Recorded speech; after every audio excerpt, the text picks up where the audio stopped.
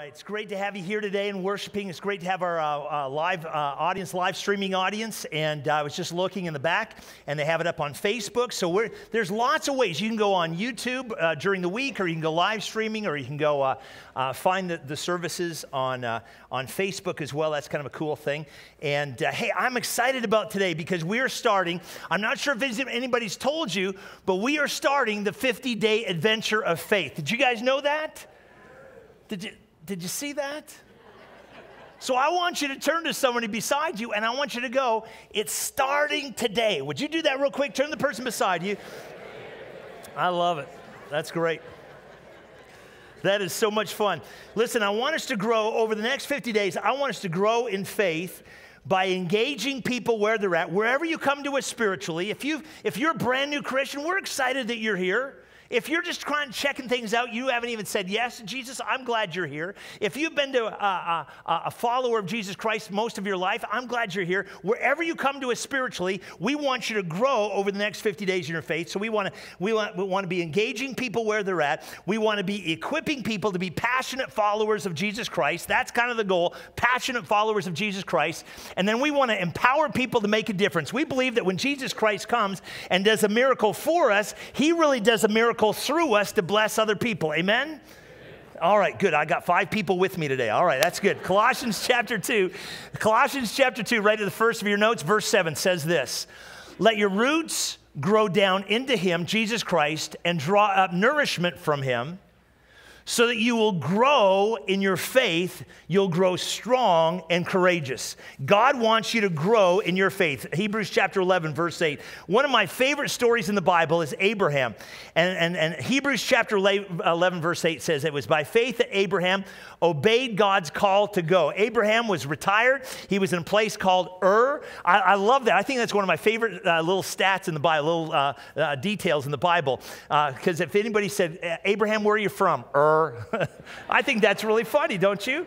So he's from Ur, and God says, hey, listen, I want you to go. And, and, and, and, and I love the rest of this verse says, God's called to him to go to another place that God promised him to give to him. And then I want you to say this last little bit with me. Uh, uh, he left his own country. Watch this. Say the last little bit in yellow. Without knowing where he was. I don't think I do that. See, when I start off on a trip, I want to know where we're going. Anybody else with me? And I, I don't want to just drive somewhere and not know where I'm going. I want to, Abraham, he's up in here, he's, he's, he's in retirement, and, and God looks at him and says, Dust off that retirement. I have the greatest journey of your life is right out in front of you. And God says to us right here today, right now, as we start these 50 days of faith, He says, listen, when you live by faith, it involves going places you don't even know where you're going, but God does. God has a place that He wants to take you in the next 50 days. Anybody with me on this journey?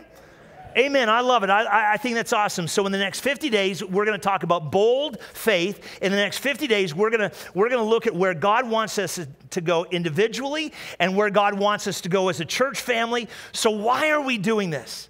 It's because everything that God does in your life, watch this, this is really cool. He does through his grace and his mercy. How many of you how many of you realize today that you don't you don't deserve God's grace like he gives it to you. Anybody realize that today?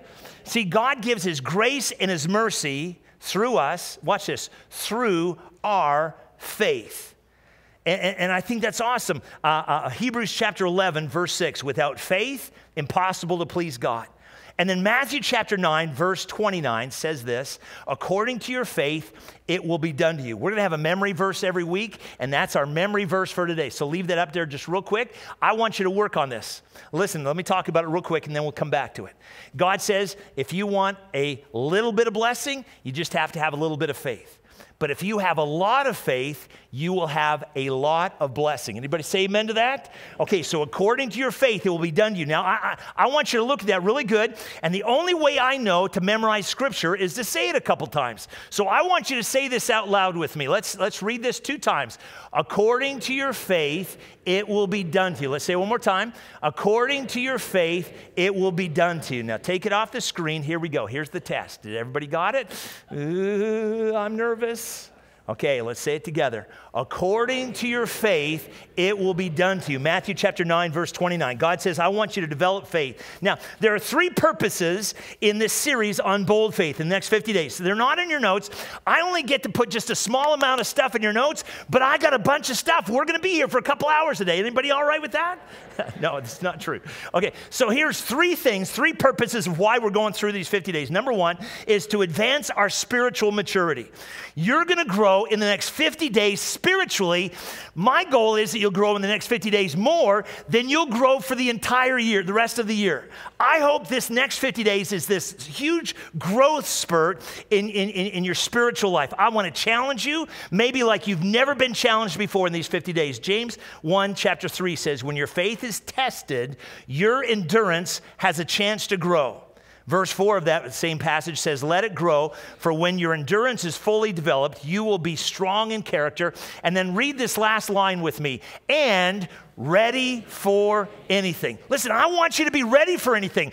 I want you to be able to, when, when the storms come in your life over the next couple years, I want you to be able to stand strong because you have a, a strong faith in your life. I want you to be ready for anything that comes to your life in the next few years. So we're going to advance in our spiritual maturity. Second thing, the second purpose is I, I want us to enhance our relational unity. I want us to enhance our spiritual, uh, our, uh, relational unity. When, when people work together for a common goal, when people give for a common cause, when we pray for a common reason, it draws us closer together. And I got to tell you, as, as a leader of this church, I want our church to be close knit together. Now, you know what's hard? It's hard to be close to 1,600 people. Amen? But you can be really close in a small group. And so I hope my goal is, is that you'll find a small group that you'll get really tied into and you'll have that relational unity. And as we come here on Sunday mornings, that we will be packed. Did you notice it's kind of full today? Nobody? Last Sunday, we had 1,600 people here, and I'm telling you, it's going to get a little bit squish, and in that way, there's going to be a relational unity you'll have with the people around you. But that's good. Look at them, they're good people. But even beyond that, I want us to have this is our goal Acts chapter 4, verse 32. Listen to the unit, the relational unity they had in, uh, in, in the early church. The believers in Jerusalem church were united in their hearts and spirit. Why? Because they shared everything with each other. In fact, people would sell what they owned own, even their homes, and give the money as an offering. So I want this 50 days to be a time that we, we get together and we find this relational unity with the people around us. And then here's the third purpose I want to honor the everyday heroes of the faith. I want to honor people who are serving in our church family. And, and, and over the next seven weeks, we're going to honor seven different people. And we're going to honor those who have been faithful for months and years and decades in our church. We want you to know how much we appreciate you. And we just want to take a moment just to honor people who are the heroes of faith in our church. Paul gives us an example of this in, in Philippians chapter 2. He talks about Epaphroditus. Now, I, I, I thought long and hard, and I tried to come up with a nickname for Epaphroditus but I can't come up with a nickname. So here's what I want you to do I want you to look at the person beside you, only if you know them. In fact, probably just if you came with them, and look at them and say, I like that name, Epaphroditus. Just say that, only if you know the person. Only if you know the person. Let's do that. Epaphroditus. Get Kleenexes out. You know, there's Kleenexes in the chair in front of you. That's great. That's awesome. So, Philippians chapter 2, Epaphroditus, here's what Paul says Epaphroditus works and serves. Paul says, He works and serves with me in the army of Christ. When I needed help, you sent Epaphroditus to me. And then Paul says, Welcome him back in the Lord with much joy. And, and here's what I want to get to. Here's the point give honor to people like him for Epaphroditus risked his life to give me the help that I needed. Listen, there's so many times in the Bible that it commands us we need to honor people who have sacrificed for the benefit of other people. Not sacrifice to make them great, but sacrifice for the sake of other people. And today and every day for these 50 days, uh, not every day for 50 days, every day, every Sunday for these 50 days, I, I want us to honor people who have uh, been heroes of the faith here in this church. I, I want to honor somebody today who every time we say there's a mission trip, this person raises their hand and is the first one in line to say, I want to go. This is the person that just constantly, constantly goes on mission trips. About 15 years ago, we needed somebody to be a Sunday school teacher. Uh, the person who was the teacher moved away, and, and we just said, Hey, Dave, oh, I gave it away. Shoot, man, I messed up. I said to this person, "Would you teach uh, this Sunday school class?" He goes, "Craig, I've never, I've never taught before, but if you need me to teach, I'll teach." And he became the Sunday school teacher. He's uh, been involved in our student ministry. He's been involved in our young adult ministry. And today, I want us to honor a hero of the faith at OVCN. His name is Dr. Dave Burrows, and I want us to honor these people like we mean it from the bottom of our hearts. So I want you to stand with me and clap and honor one of our own, Dr. Dave Burrows. Come on up, Dave.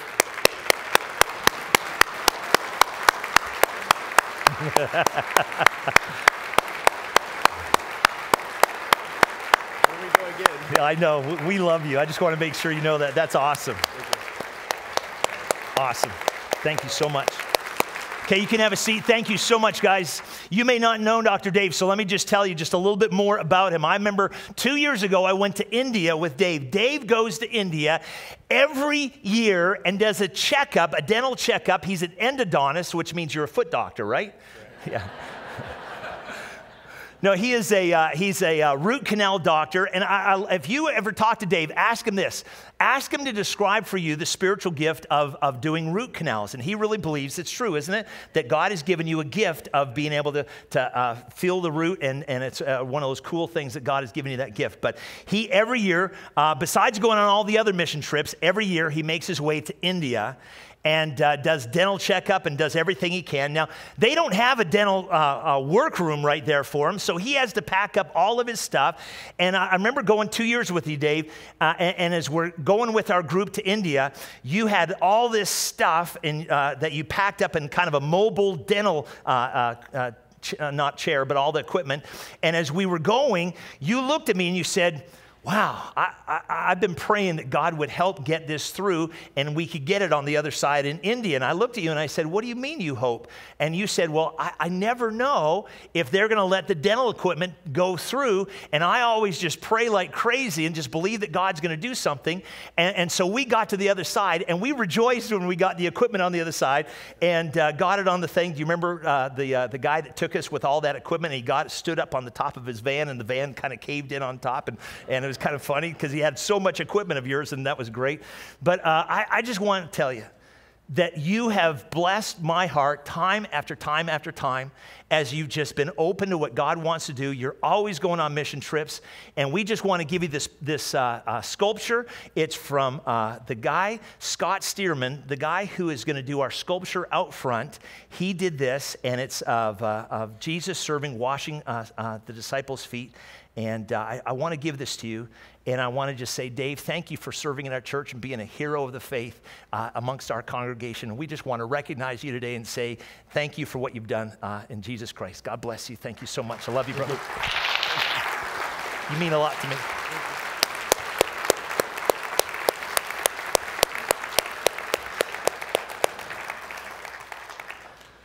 I'm excited for the next one. Anybody else? It is going to be so cool. I, I, I, asked Dave, I said, Dave, I'm, I'm going to do an illustration. I need you to come to all the services. And he knew about this service, second service, but first service, he just thought he was coming today to help me out. So isn't that cool that, that uh, he did that? Uh, this is the right thing to do. Amen? We, we, need to honor our heroes of the faith here in our church. Well, let me get to this and then we'll get to your. Some of you are going, when are you going to get to the notes? And I, I, I promise I'm going to get to them. You say, Craig, how are we going to grow in our faith? There's four ways. One is on Sunday mornings. When you come on Sunday mornings, I want you to be ready for God to do a great work in your heart to build your faith, to grow your faith. Sunday mornings is going to be the key time that we come together and we kind of hear a great story uh, uh, in the Bible about God's uh, uh, growing somebody's faith and how that applies to our lives. And, and today's story is awesome. I, I love it. One of my favorite uh, miracles in the Bible. And then the second thing is our small groups are going to play a part in this. And I know that we have so many different small groups. We, we had a connection event last Sunday night, and we actually started four new small groups out of that connection event. That's exciting. I got to tell you, as a church, that's an awesome thing to have new people get involved in. And we had our membership class yesterday, and about 80% of the people in the membership class had already joined a small group. Amen? See, I think that's a really cool statistic. I think that's a, a, a, sign of growth. Well, listen, in small groups, you may have already been doing a series, and we're not demanding this, but we're asking this. If you can put that series aside for a little bit, and, and just for these 50 days, for seven weeks, if you could kind of find some way that your small group can kind of connect with uh, these seven weeks, that would be a great thing. We'd appreciate it so much. Uh, I have a video, five to 10, it's a short video every week that we're going to put out. It's out on YouTube. YouTube, and uh, you go to Oro Valley, Nazar- uh, Valley Nazarene and uh, look up 50 Days of Faith, and it'll pop up right there. Uh, just search for that. If you want a hard copy of the uh, uh, questions for small group, you can get them at the welcome table, or they're on our website, and you, your small group can follow along. The third part is our memory verse. Everybody remember our memory verse? According to your faith, it will be done to you. So why don't we say it together? According to your faith, it will be done. That's awesome. You guys got it. I love it. You're one seventh the way through in all the memory verses. And then the fourth thing, and I love this. This is one of the coolest things, is that our children and our, our youth are going to be following along with us. And so, listen, on Sunday mornings, our kids in their kids zone are going to be talking about the same things we're talking about here. They're going to be talking about. And on Wednesday nights, our middle school and high school students are going to be talking about the same things we talk about here. They're going to be talking about it. And so, if you have kids that are in elementary school or youth, uh, we want you to be talking to them. And as you pray over dinner or as you pray at night or whenever you pray with your kids, I want you to be praying, God, Help us grow our faith. And I want you to believe that in your family that God's going to do something really cool. Amen? All right, so uh, if you have your notes, if you'll take them out, and uh, let, us let, get into the story. It's the miracle of feeding the 5,000. I want to talk about how do you prepare for a miracle. And we're going to look at the most famous miracle, Jesus feeding the 5,000. And really the story is, is it's really about, it's really about how Jesus turns a little into a lot. And you need this in your life. Come on, there aren't there times where you need God to turn the little bit you have, and you need to turn have God turn that into a lot. I, I, I, just wrote down a few examples. How many of you have ever come up against and you're just running out of energy, and you need God to take that little bit of energy, and you need God to give you a lot of energy? Anybody with me on that? Or, or you have a little bit of talent. I, I identify with this one. A little bit of talent, and you need God to give you a lot of talent. Anybody with me on that? Or you have a little opportunity, and you need God to give you a big opportunity. Or you have a little bit of money, and you need God to give you a lot of money. Anybody with me on that one?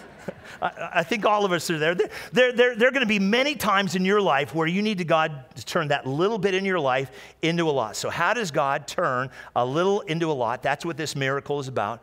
Jesus never did miracles just to show off. There was always, the miracles had a spiritual truth, and the spiritual truth in, in Jesus feeding the 5,000 is to show us here's how you prepare in your life for a miracle, where God is able to turn a little into a lot. And this is so important to our bold faith. Listen, I got to tell you, because every, every one of the Gospels, Matthew, Mark, Luke, and John, all of them talk about this story. And it's the only miracle that's involved in all four Gospels. And, and I think God is saying to us, hey, listen, you ought to pay attention to this miracle in the Bible. So here's the story. Let's jump into it. Jesus uh, goes out into the Judean desert, and about 5,000 people follow him.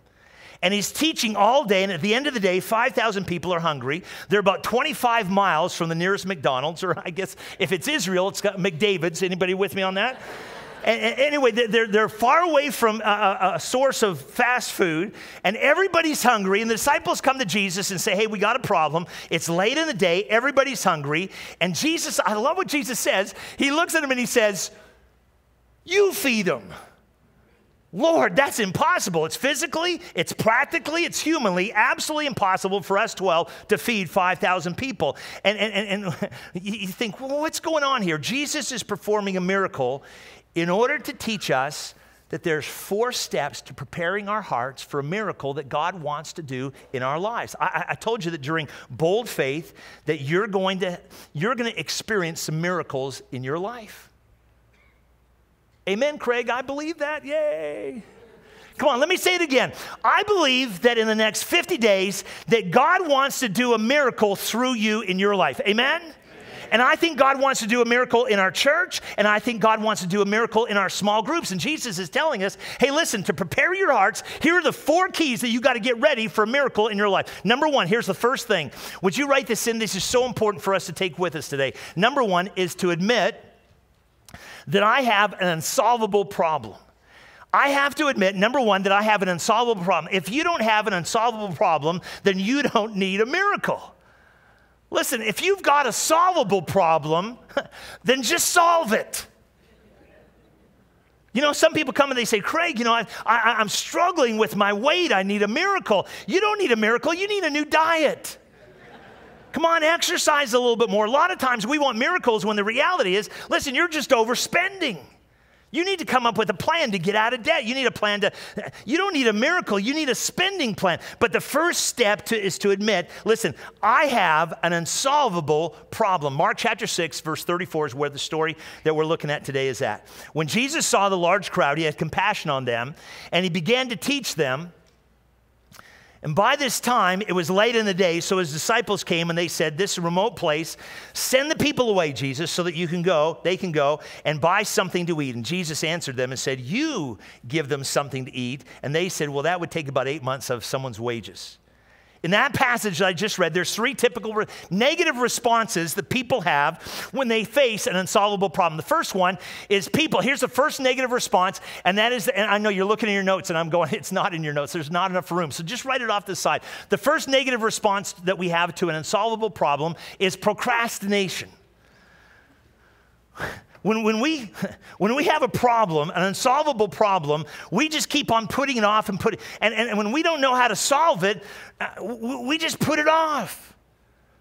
Anybody like me, and that's one of the things that you just kind of do when, when you're facing a huge unsolvable problem. Anybody besides me struggle with procrastination? Do I have a couple people? Yeah, there we go. Thank you for being honest. The rest of you are lying. They, they, they were I'm joking. They were procrastinating. Procrastination, let me tell you something. I know this from experience. Procrastination only makes the problem worse. So then the second thing they do the second thing they do is they pass, they pass the buck. They blame other people. It's, it, it's not really my problem. It's not our problem. It's their fault. They followed you out here. And so the disciples said, Send the people away. Not our, we didn't invite the people here. Jesus, let them go find their own food. And then the third thing that we do that's negative is we worry. The disciples are stressed out. The disciples' anxiety is just going into overdrive. And I, I can just imagine Peter. Peter's doing a cost analysis. How much is this food going to cost? How can we keep it hot? How are we going to give it to them? How are we going to clean it up? And how are we going to how are we going to pass the health permits? Uh, you know, I'm sure they were thinking about those things. And they listen, we worry and we worry. I love what Jesus says. Jesus looks at the disciples and he says, you feed them. And Peter goes, No, no, no, you got to be kidding, Jesus. We, we can't do this. So here's the point negative responses to problem uh, uh, when the problem is unsolvable is procrastination, passing the buck, and worry. And, and, and I, I, read this this week. I got in here, and listen, I got in here and I began to look at this, and all of a sudden it jumped out right off the page at me, and I realized I know what the problem is. I, I, I just went, Come on, guys, you got to see this. Here's what was going on. They're worrying, they're procrastinating, they're blaming other people people when you know what? Here's the real issue Jesus is standing right beside them. Is that crazy? Come on, Jesus, who they saw turn a stone into bread. They know he can do this. There's Jesus, and, and I'm just thinking, come on, Jesus can make hot pockets for everybody. We'll all eat good. And they're standing in the presence of the Son of God and they're going, You know, Jesus, we got an unsolvable problem. Jesus says, You feed them. And they say, Well, Lord, it's, it's, it's, it's practically, financially, and humanly, it's impossible. Let me just stop and ask you Has God ever asked you to do something that's impossible in your life? I have. I think God loves to do that. God loves to ask us to do the impossible. You go, Lord, I, I, don't have time. God, I don't have money. I don't have energy. I don't have education. You got the wrong person. And God asks us to do something impossible. And like Moses, we go, No, not me. I, I'm not going to do it. Or like Jeremiah, we go, You know, God, why me? We need to be like Isaiah. Do you remember a couple weeks ago we talked about him and God said, Who am I going to send? And, and, and, it's this impossible thing. It's this, you know, I, I don't know how God you're going to do it, but pff, send me. I didn't hear anybody say amen. so let me go through this one more time.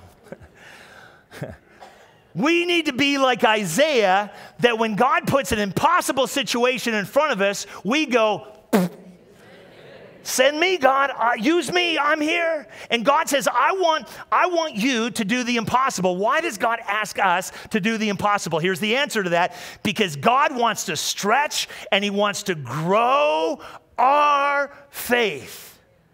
It's because every time he does that, when, when, when, God asks you to do something, we think it's physically or financially. God, that's impossible. But God puts it in front of us. He's waiting for us to say, Yep, I'm in. I'll do it. Send me. I'll do the. He wants to grow our faith. This is the first principle. In fact, all these principles I put in your notes because I didn't want you to miss them. Here's principle number one. It's on the back side of your notes, right at the top. It's tucked in right after the top, so you got to kind of look for it. But here it is. Principle number one I have to admit that the, uh, that the problem that I'm facing right now is unsolvable. All right, then here's step number two to the miracle. Here's the second key. Number two, give God what little I already have. Give God what little I already have. Jesus says to the disciples, Jesus says, I want you to go out and I want you to see if anybody has any food, any lunches. In Mark chapter 6, verse 38, how many loaves do you have? Jesus asked. Go and see. And when they found out, they said, Five uh, small loaves. They're like little biscuits of bread and two fish. One little boy had a sack lunch. Anybody have a problem with that? Come on, see here, I, I, think you've heard the story so much, you just kind of accept the fact that there was only one person out of 5,000 that brought any lunch. Is that illogical to you guys? Come on, I happen to believe that there was a bunch of people that were hiding their lunch in a, in a, in a, in a picnic basket underneath their coats because they didn't want to share it with anybody else. They've got it hidden. They don't want to share with their, with their food. And I, am thinking a lot of people are, are, are hiding their food. 5,000 people. Somebody else had some food, don't you think? It's highly doubtful to me that, that the boy brought the only thing. But this kid becomes the hero of the story because he's willing to offer up everything he's got. God, I'll give you everything I have. Why did Jesus say, find out how many lunches? This is so important to this story. Why did Jesus say, find out how many lunches are out there? Because you see, when you think about this, God doesn't need anybody's lunch in order to do this miracle. Anybody all right with that one? See, in my mind, I'm thinking, you know, God doesn't use anybody else. He just snaps his finger a couple times, and all of a sudden we got pizza rolls flying from the sky like manna. Anybody else with me on that? I, I think that would be a really cool thing. God doesn't need anybody else. Here, check this out. So, why did Jesus do this? The second principle of the miracle, I wrote it in your notes, is because God always starts with what I have. It may not be much, but I give it to God. God, I don't have much time, but the time that I have, I'm giving it to you. God, I don't have much finances, but the finances I have, I give it all to you. God, I don't have much talent, but the talent I have, I say, God, I, I, I give you everything. I give you my reputation. I give you my heart, soul, strength. I give my past, my present, my future. God, I'm giving my loaves of bread, my fish, everything. I, I, I give it all to you. It's, it's interesting that God always starts with what I have. Doesn't have to, but that's where he starts. John chapter 6, verse 6 is the same story in the Gospel of John, and he gives a little detail that I think is so unique. Here's what John 6 6 says it says, Jesus asks this only to test them. He asked to go out and get food only to test them, for he already had in mind what he was going to do. Which brings me to a great point. Jesus was not sweating it at this point. Anybody all right with that point? Come on listen, when God asks you to do the impossible, He's not sweating it. He already has in his mind what he's going to do. He's seen the need long before they did. Jesus has a plan already laid out. I, I, want you to write this down in your notes because there's, there's not some blanks there or anything like that, but just write this down because you're going to need it some point in the next year, maybe in the next few weeks. God always has the answer before I know what the problem is. Come on, that's great. I know you're writing it down. So I'll, I'll, I'll give you a chance to write it down, then I'll say it again. in your life, God always knows the answer before we even know what the problem is. Okay, you're done writing, right? So everybody said? Jesus saw the problem. He knew it was late. In, he saw the problem when it was early in the day, and he already had a plan for it. God already knows the solution before you and I even know what the problem is. Man, so here's the question why do we worry? Right? So, one, I admit that I have an unsolvable problem. Two, I give God the little bit that I have. And here's three write this in I put it all in the hands of Jesus. Question How much do we put in the hands of Jesus? Yeah, thank you. I was going to tell you, but thank you for answering. I love that. That's awesome. The correct answer would be all of it. 100%, not 90%. We have this phrase around here 90% commitment to God is 10% short. Amen? The correct answer is all. The Bible says, verse 41, Jesus took the five loaves, the little biscuits, and, and, the two dried fish, and he blessed the food. He broke the loaves, and he, he kept giving them to the disciples to set before the people. Here's the third principle. I wrote it in your notes. You don't even have to write anything down. God will use whatever I have. It may not be much, but I give it to God, and what little time, energy, and effort, whatever I've got, I give it all to God, and God will use whatever I give to him. Because of that, we come to the fourth key, fourth thing in preparing for a miracle. Here it is Number four, expect God to multiply what I give him. I give God whatever I have, I put it in the hands of Jesus, all of it, and then I expect God to multiply it. Notice what happens. Mark chapter 6, verse 42. Everyone ate and had enough. And afterwards, they collected 12 basketfuls of leftovers. I love this. Can't you imagine everybody going home with doggy bags? Come on, right? They're walking home, and, they, and in fact, I can imagine this kid that gave it all to Jesus, and he walks home and he's got 12 basketfuls of, of bread and fish all in there. And he walks into his house and he goes, Mom, look, see what I got. And he goes, Mom goes, Jacob, you know, where did you get all this bread and all the fish? And he says, Mom, you're not going to believe this. Jesus, I gave my lunch to Jesus and he multiplied it. And the mom says, Jacob, go to your room and stay there until you tell me the truth. right? Because it blows our mind. It's a miracle from God. Come on, would you believe that story? And it leads me to the fourth principle, and that is whatever I give, I love this. Whatever I give, I always get back more.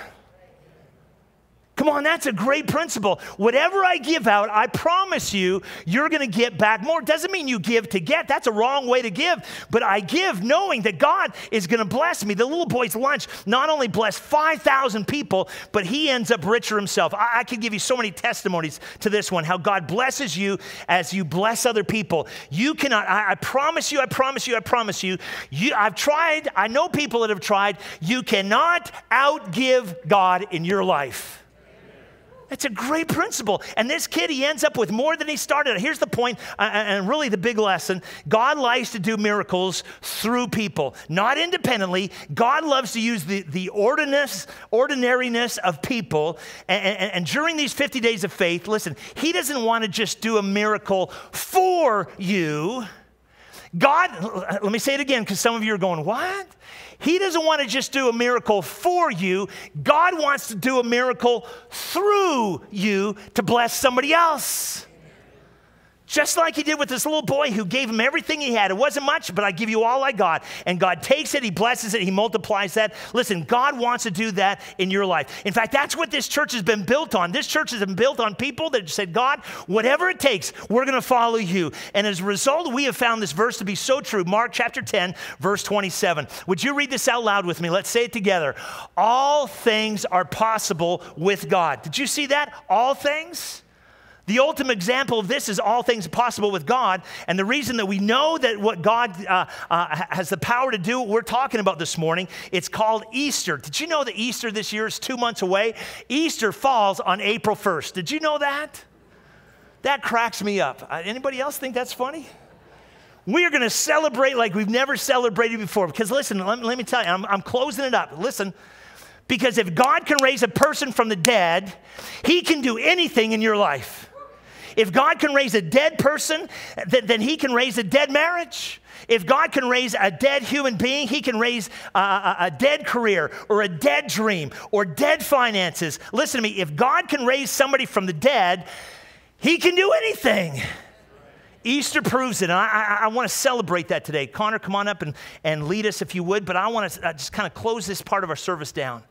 And I just want to say, I, I just happen to believe there's somebody here today that you've come and you've never said yes to Jesus Christ. You've never opened up your life and asked Jesus Christ to come into your life. And maybe the reason that God brought you here today was that you would go, you know what? If God can do that, maybe He can help me with an unsolvable problem in my life. And here's where you start you start by saying yes to Jesus Christ. In a moment, I'm just gonna, we're gonna pray. Not right now, but in just a moment, we're gonna pray. And I'm gonna give you an opportunity to say yes to Jesus Christ. Some of you here, you've already said yes to Jesus Christ, and you've asked Him to come into your life. But man, it's a struggle in your spiritual life because God is calling you to go this way. He, he, wants, he wants you to leave Ur and He wants you to go to a promised land that you don't know where it is. He wants to do something great in your life, and you're holding on and you're going, no, no, no. You know, it's different for different people, but God is calling you today to surrender all to Him.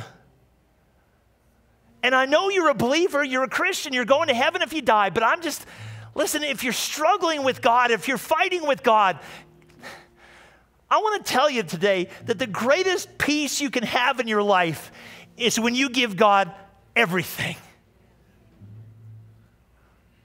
Let it go. Say yes to God. Would you bow your heads, close your eyes? Heavenly Father, Thank you for your grace and your mercy in our lives. We certainly don't deserve it. Thank you for dying on the cross for our sins and then raising from the dead, rising from the dead to prove you have power over Satan, power over sin, and the power to walk into our lives and to help us with those unsolvable problems. Nothing is impossible with you. Now, right now, if you're sitting here and you've never said yes to Jesus, right now, just say, okay, Jesus, yes, come into my life. Forgive me of my sin. And the best I know how, from this point forward, I want to follow you. Just say yes to him right now. Or maybe you're here and you're already a believer. You've said yes to Jesus Christ, but, but, but there's something that you're constantly fighting with God, and, and God is just saying, hey, listen, I want to do something great in your life. Would you just surrender it all to me? Everything. Just turn it over to me. Let me run your life. It's like you take the steering wheel of your life and you just go, okay, God, from here on out, I'm just along for the ride. I'm following you. Say yes to Him right now. God, I, I surrender everything to you. Heavenly Father, I pray for people that are saying yes to you like that right now. I pray that you would fill them with your, your peace. May they know a peace like they've never known before. May they feel a weight off of their shoulders and feel like, wow, I, I have this great connection with God. And God, would you send your Holy Spirit to do an incredible work in their life? Would you empower them to make a difference in other people's lives?